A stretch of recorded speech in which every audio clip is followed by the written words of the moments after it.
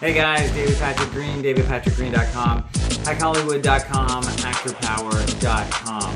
Guys, just a real quick one today. Um, I was talking with Justin Bieber about acting because, yes, even he, uh, fellow Canadian, consults with me, and he said something really interesting regarding his very first acting job on uh, CSI Miami, I think it was, and he hadn't really done a lot of acting before, and he was complaining because he said he learned all his lines and he was really showing up uh, expecting to be a professional.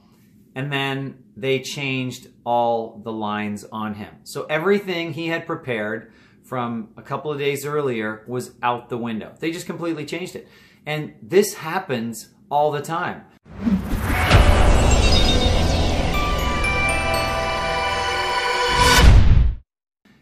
And you know you can cry about it, you can complain about it, but you can't change it.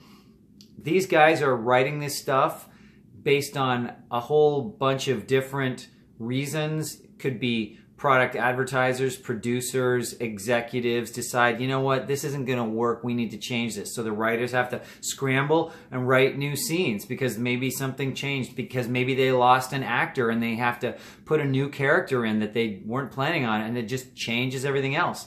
And you've just got to roll with it. You can't freak out. Uh, so you know, I, I've I've put out videos before talking about how you need to have very short preparation time. So even if you've studied for years and years, which I totally get and I agree with it, you have to work your craft and work it constantly and keep it sharp. But the end has to be that you are able to prepare material very quickly and it can change at any time. So you can't get attached to it. You can't get too many ideas in your head because all those ideas could just go out the window. So that is the reality of the situation. I just thought I would let you know that not only do I do this and it's proven by me and proven by my private coaching clients and my Hack Hollywood membership clients, but Justin Bieber agrees with me. So that's it for now, guys. I hope this was helpful. Quick preparation is the key. And if you like this, give me a thumbs up. Please share this video with your friends, colleagues, and classmates. And subscribe to my channel so you get more videos like this. I'll talk to you soon.